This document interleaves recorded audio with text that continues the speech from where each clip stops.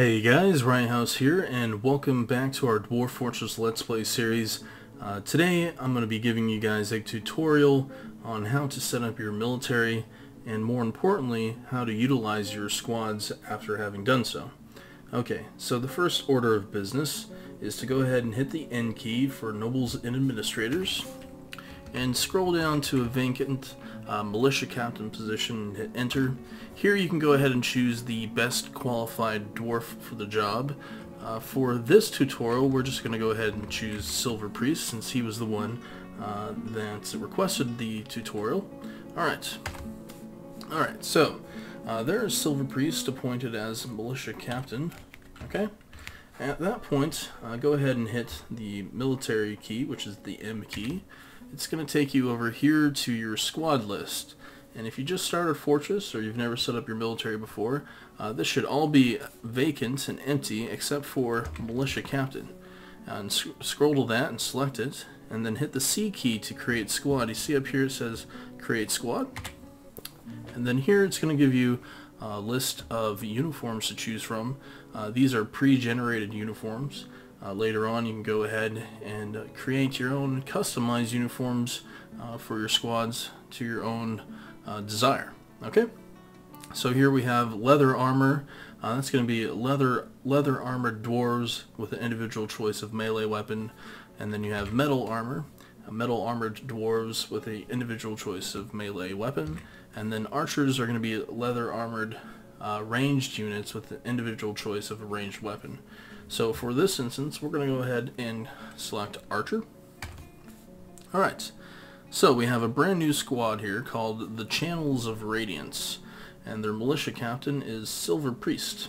Okay, so at this point you would want to go ahead and uh, fill out the ranks to your desire, however many dwarves you can field in the unit, and uh, for this uh, tutorial, however, we're just going to be using the Silver Priest. Okay, now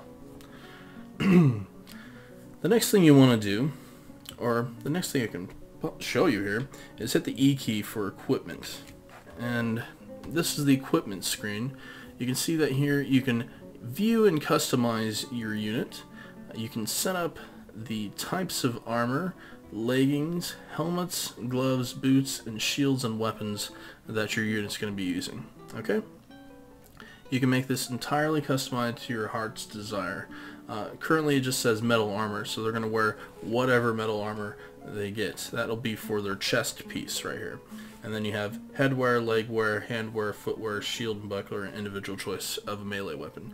If you wanted everybody in this unit down here to uh, carry spears, then you can go ahead and hit the W key, or you can scroll over here uh, to weapons for Silver Priest and scroll down to individual choice of range, hit enter, and then you would go ahead, uh, that, that would delete uh, the weapon, and then hit capital W, and then you can go ahead and scroll down for spear.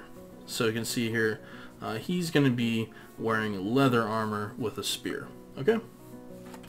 But uh, for this unit, since it's going to be a ranged unit, uh, let's go ahead and choose individual choice of range. Let's get rid of the spear.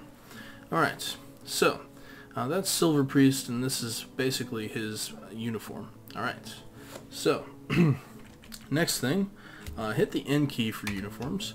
Here you can go ahead and customize uh, the uniforms for an entire unit. Uh, this is easy because uh, when you first set up your unit, it has everything already pre-selected. So you don't have to individually customize each dwarf. You can just give them this template. So uh, if you guys want to create uh, a group of dwarves wearing all iron armor with iron weapons, this is be the place that you could do it. Okay? Alright, so next thing, hit the U key for supplies. Supplies is basically the drink and the food that your dwarves carry with them. In order for your dwarves to carry that said drink and food, uh, they're going to need a flask or a water skin uh, to carry drink, and they're going to need a backpack or a sack to carry food, a bag to carry food. Alright, but here you can go ahead and change the amount of, of water or drink or food Uh, for instance, let's go down the channels of radiance here. You can hit the plus or minus key to change these quantities. You can order them to not carry any water, to carry a drink, which would be usually alcohol, since dwarves love alcohol, or have them carry water. Now you definitely want your dwarves to carry drink, because being on the uh, on the job in the military, as stressful as it is, and dwarves get unhappy thoughts, and probably one of the only happy thoughts that they do get is having a good drink, okay? And then you can also have them carry food. And here you just use the backslash key and the asterisk to go ahead and change these values. You can have them carry three food, you can have them carry no food, one, two, or three, right? So if you want your dwarves to stay on position for longer periods of time without being thirsty or hungry, uh, you can change uh, how much uh, food or drink they carry. Okay, that's supplies. Pretty simple. Uh, the next thing we're going to take a look at is ammunition. Hit the F key. Now this is more important for range units. It's solely important for range units actually. Um, but you can see here we also have another group called hunters here. So some of your dwarves have the job skill hunter and they'll go out and they'll shoot uh, wildlife and bring the meat back to the fortress, right? Here you can dictate how much ammunition they're going to carry, and not only that, you can also dictate what type of ammunition that they're going to carry. But for this instance, we're going to go down to the Channels of Radiance, which is a ranged unit. And you can see that this is a military unit, so they carry more bolts, more ammunition uh, for combat purposes. But if we wanted to, because they're a military unit, they're also going to be training.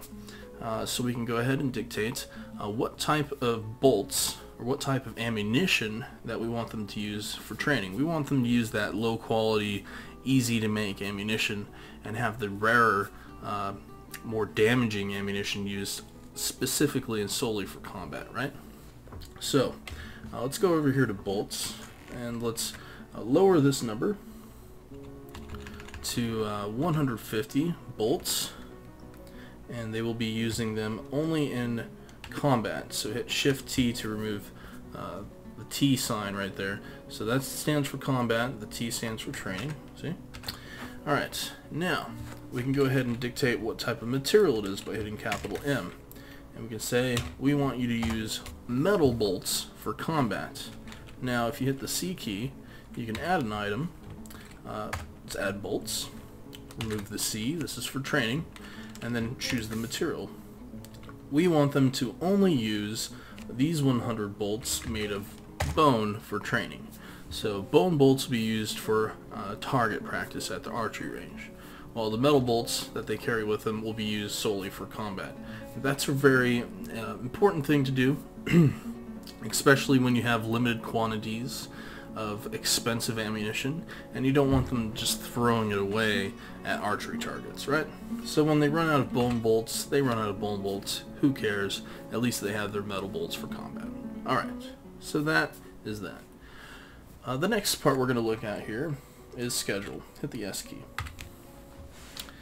Uh, the schedule is basically broken down to 12 months of a year for Dwarf Fortress. Here you have each of your squads, the Geared Labyrinths, Cobalt Flyers, the Granite Senses, and if you hit the plus key, the Channels of Radiance. And for every month of the year, we have our squad uh, selected to train. So train, train, train, train, train. If we wanted to, uh, we could remove that order to train and give them no scheduled order for six months of the year and the other six months of the year uh, they'll they'll be training. So uh, for six months of the year they'll have no scheduled order. Uh, they don't have any active duty um, uh, orders to do. So they'll basically be uh, civilians. Okay. Anyway, uh, that's that's this is important when you have multiple squads and you don't want your squads on duty 24-7 365 days of the year right? So you can have uh, one squad on for six months while the other squad's off for six months, okay? Alright, uh, that would obviously have to do with happy thoughts, right? Dwarves are happy when they're not serving in the military. They're happier when they can just be in the mead hall drinking up all the beer. Alright, anywho, Uh, let's go ahead and hit escape and let's go over here to alerts. Hit the A key. Let's go to alerts. Now this is important. You can see here uh, for the alerts, inactive alerts, currently we have the channels of radiance. It's a military unit that we created, but it's inactive. Uh, the other three are active. If you go down to active training over here, you can see the Geared Labyrinths, the Cobalt Flyers, and the Granite sen Senses are current, currently active duty military units. They're training, they're in uniform, they're wearing their gear, they're ready to fight. However, the Channel of Radiance is not. If you wanted to go ahead and set them up as active, it's simple as selecting it and hitting enter. Okay? So that's all uh, alerts really is about. You can see up here, active and training, three squads, no burrow uh, restrictions. I'm not going to be going over burrows in depth in this tutorial, uh, perhaps in another series. Okay, so uh, that's pretty much everything you need to know about the military tab. Okay, I suggest you guys fool around with this a bit, have some fun, and get to know it like the back of your hand. Okay? Alright, so after you've done that, you've set up your military, uh, you've put everybody into your squad. Uh, now, hit the S key and go to squads. Here you're going to have a list of all your active squads and your inactive squads. Uh, go ahead and choose uh, our squad here, the Channels of Radiance, the D key.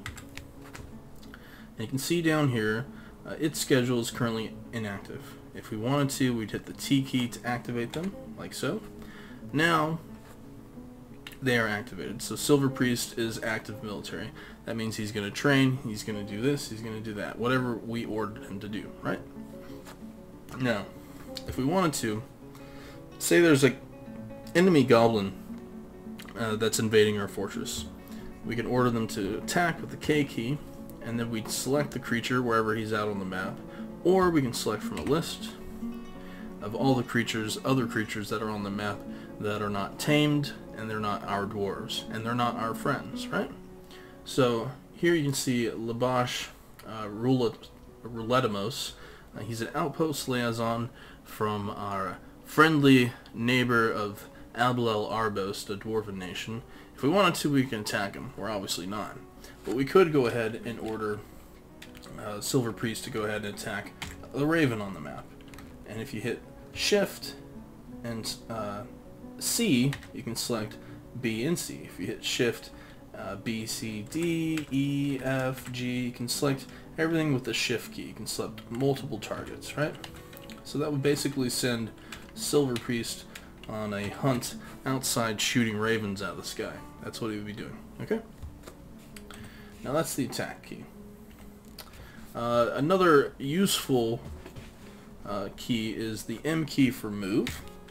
Uh, this would order Silver Priest to move to desired location and all you'd have to do is hit enter and Silver Priest will move right there.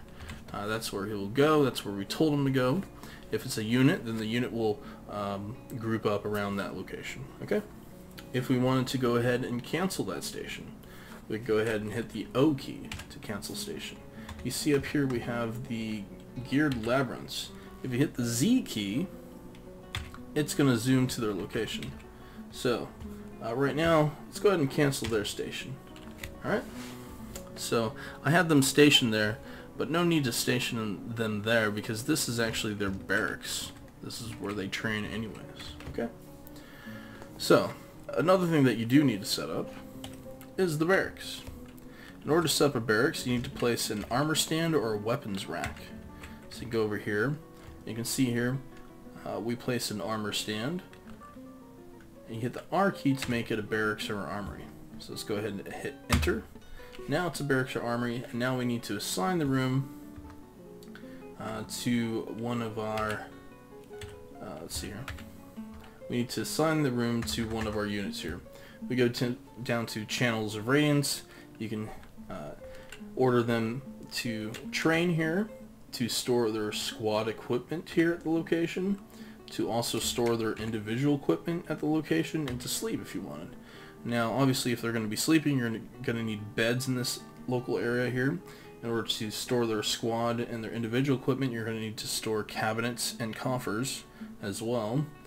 Uh, but to train it doesn't require anything. Uh, just this armor armor stand. Alright, so anyway, uh, that is how to set up training areas for your units. Now let's go up to our archery poster. You can see here we have uh, archery area already set up. Uh, we have it set up to shoot from the bottom to the top. We want them to shoot from the top to the bottom. The top up here to the bottom down here. Okay? And that would be for all of these targets here. I don't know if I'd have to actually set them up each individually as an archer range, but if we did need to, we just hit the R key, expand it to where it needs to go like that, and then using the WASD keys, uh, choose, oops, choose uh, which direction they would shoot from. So for instance here we would have them shoot from top to bottom, right? So they stand up here and shoot down like that. Alright, but of course we would have to assign uh, the squad that's allowed to train here. So we'd say channels of radiance, train here at this archery range. Okay? So that's that. Pretty simple, uh, pretty self-explanatory. Okay? Alright. So, uh, by and large, that's everything you guys need to know about the military. Um, I wish you guys the best of luck out there. I hope you guys slay many a goblin and many a forgotten beast in the future. Uh, and stay tuned for the next Let's Play. We're going to be uh, playing quite a bit more of Dwarf Fortress. I think we're going to be playing this uh, Dwarf Fortress here until it falls. So that could be 200 episodes from now, who knows. Okay? But uh, thanks for joining me. I'm RiotHouse, and I'll see you guys in the next Let's Play.